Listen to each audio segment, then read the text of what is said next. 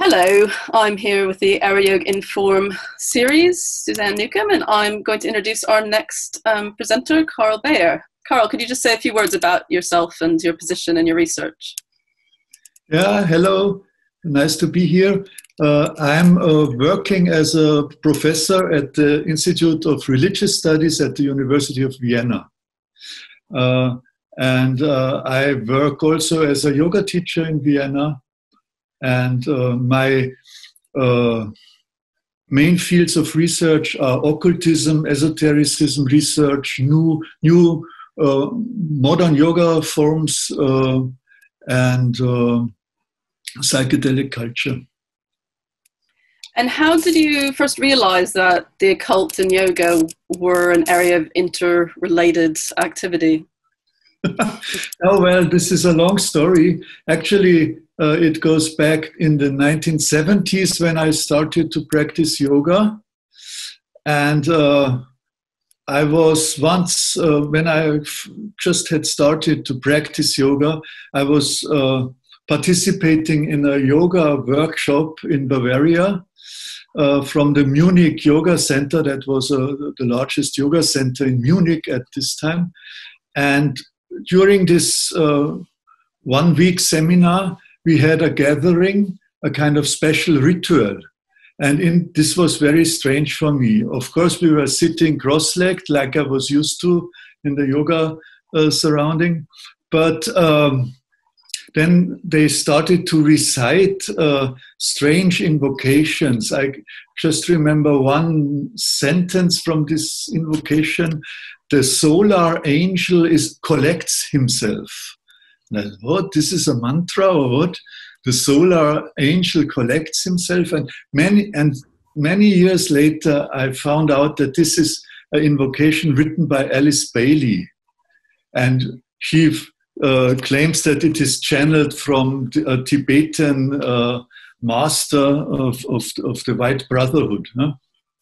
So, but I didn't know this. It was just was strange to me. And my Viennese yoga teacher, Susanne Schmieder, who founded the Schmieder Institute that is still existing in Vienna, she was also an esotericist, combining uh, occult uh, ideas uh, with life reform movement uh, uh, influences and some elements of yoga that she took from books from Shivananda and others. And so all this, and on the other side, I also knew what today is called modern postural yoga.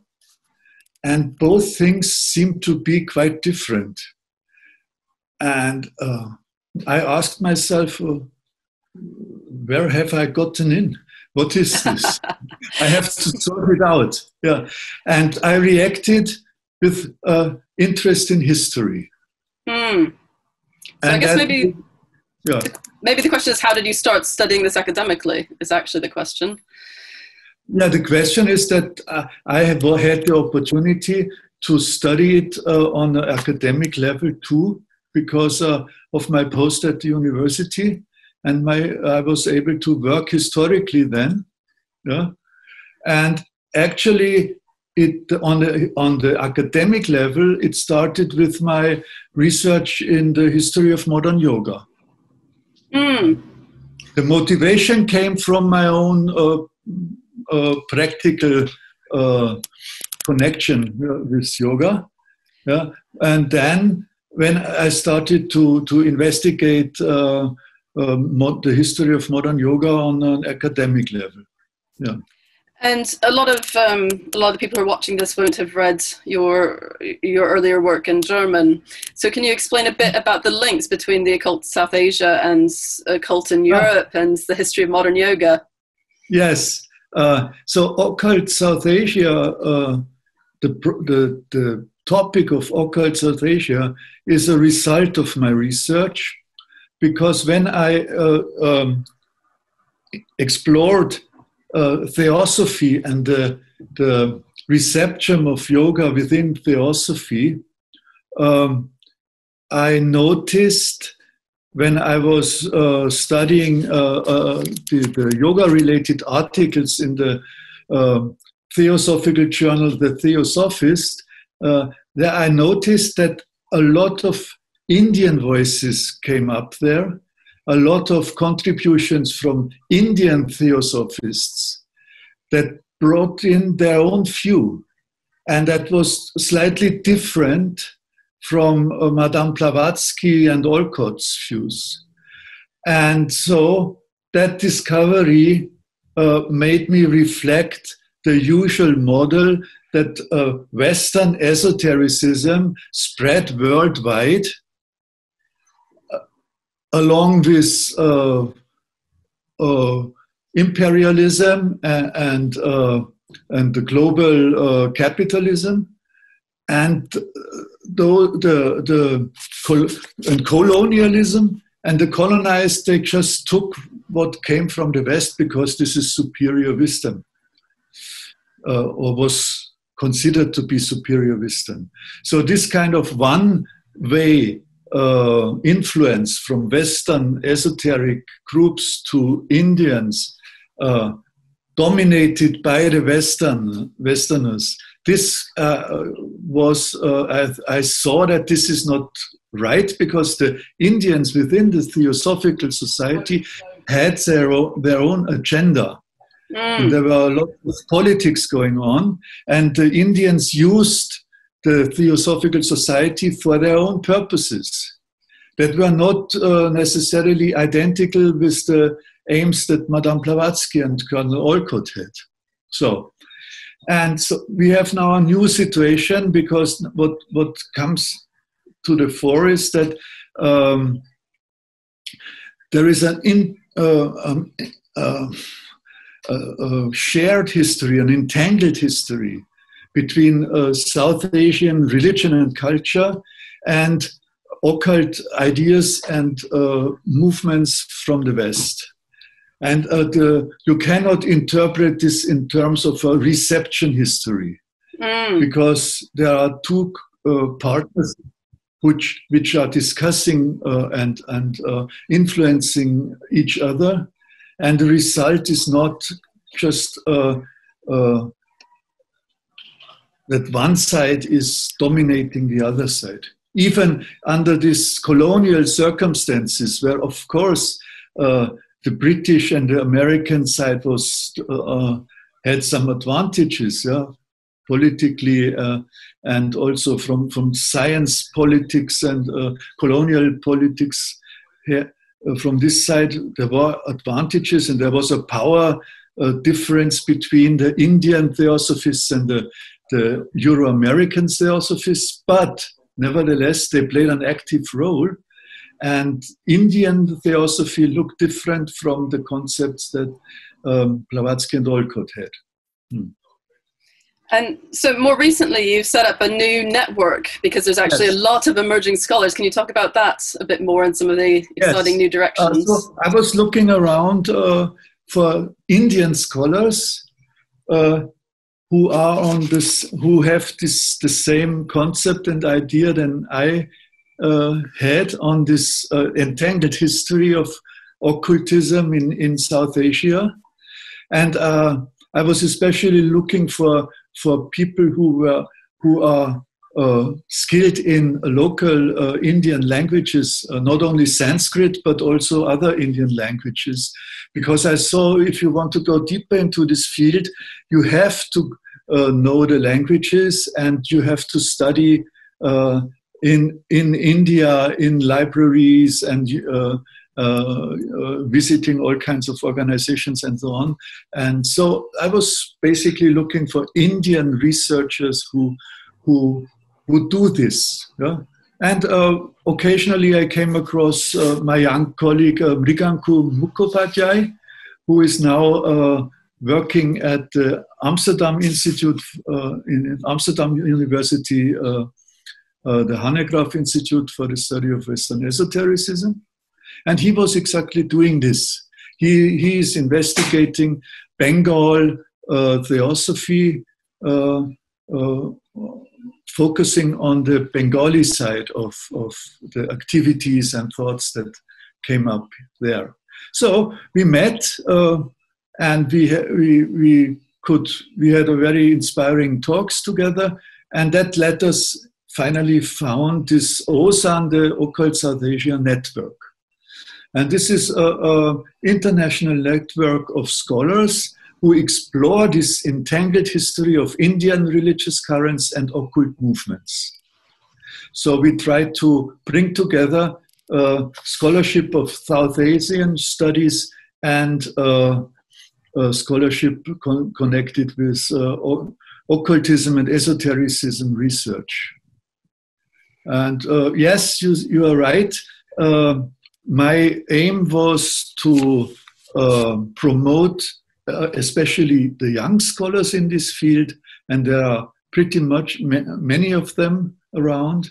and in a way in between these two areas of research without any uh, so strong support we have to help ourselves.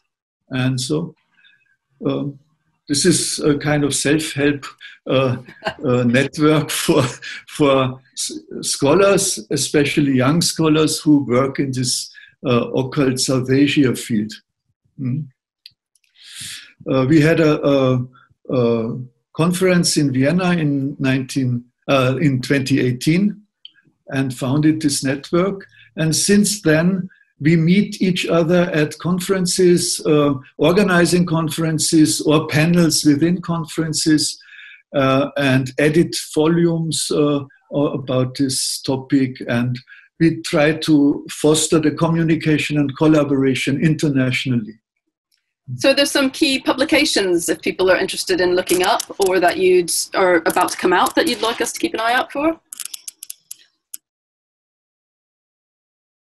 Uh, yes, we are at the moment we are editing uh, uh, a volume uh, on occult South Asia that should, in a way, represent the state of the art in this field, uh, and it I think it will be published uh, next year beginning Fantastic. I look forward to reading that.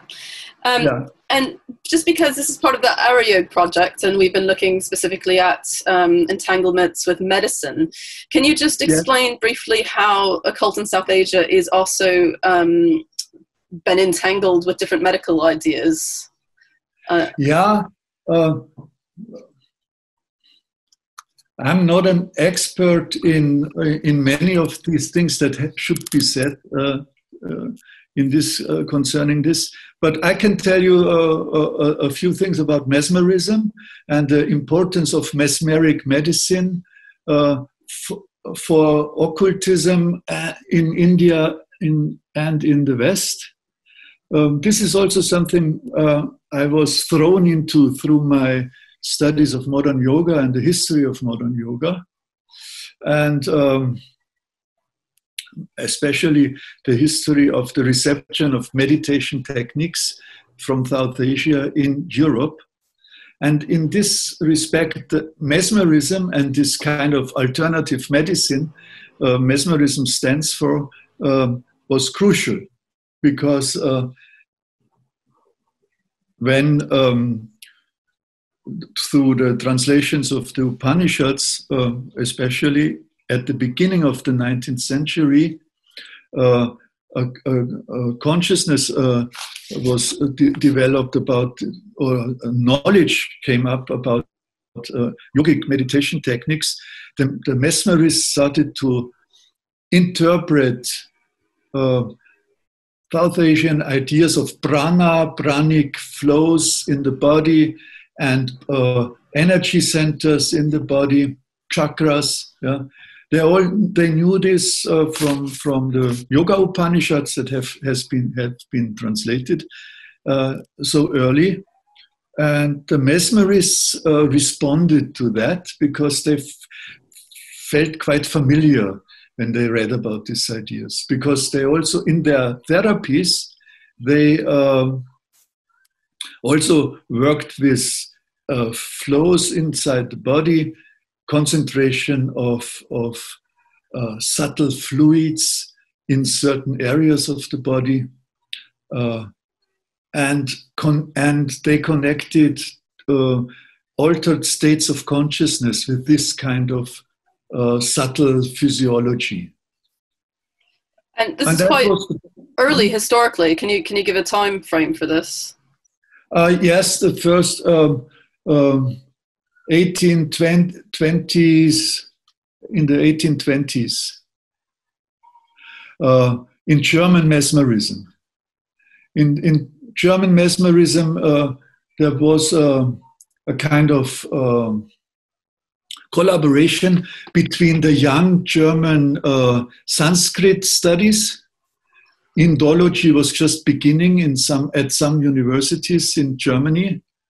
And there were some points, uh, some uh, sites, universities, where you could uh, also study mesmerism as a university field. Oh, there were uh, real chairs for mesmerism.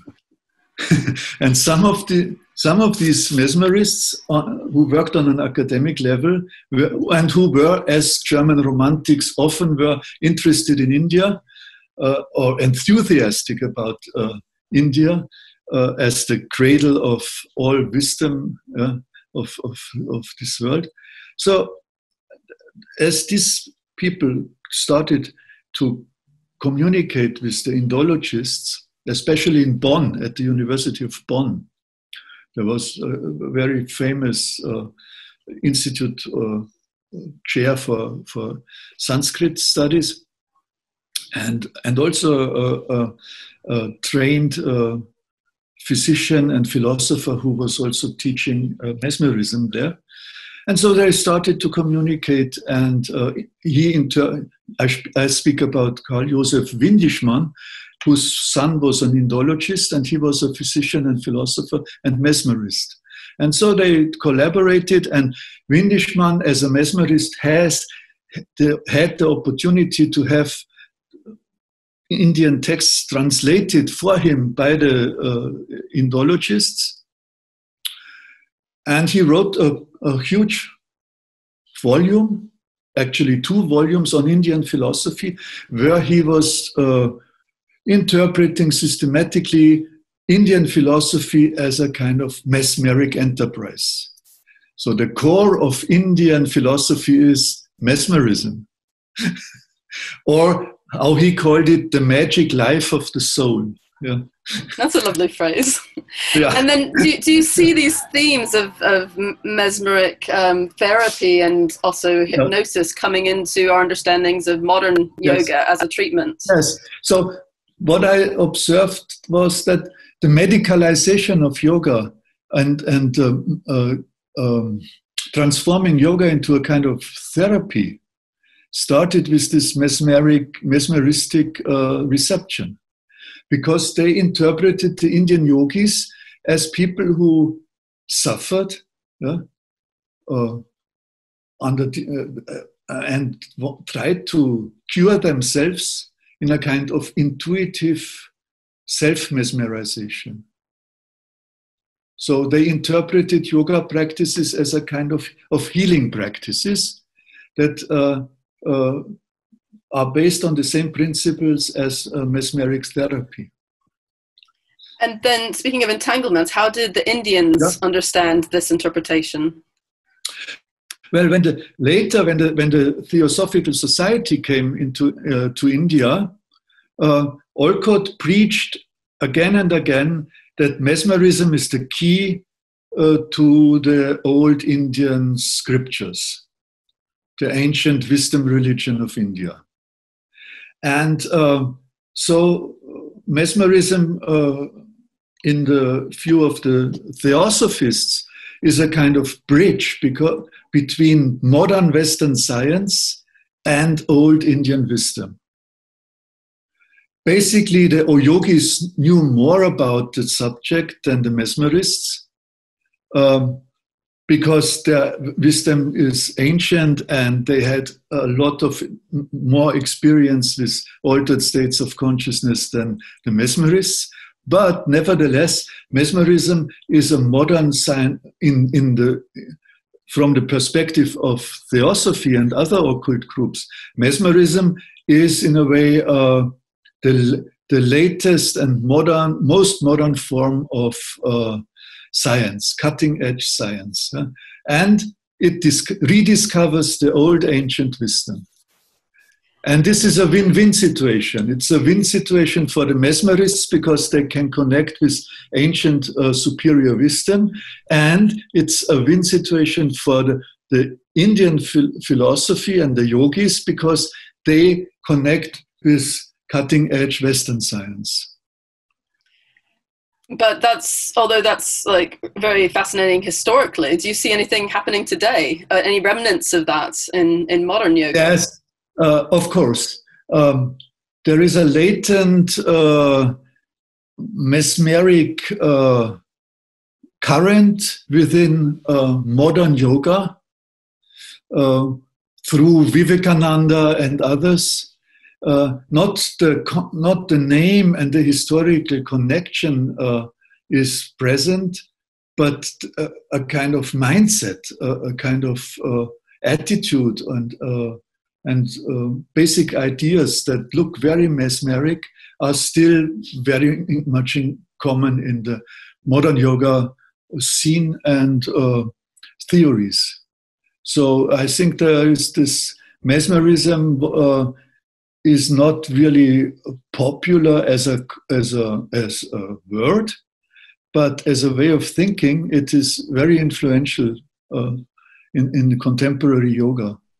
All these concepts of floating, flowing uh, uh, energy currents in the body, uh, also the concept of blocked energies uh, and that you therapies uh, solving uh, energy blocks uh, and uh, the free, free flow of energy in the body is identical with a state of complete health.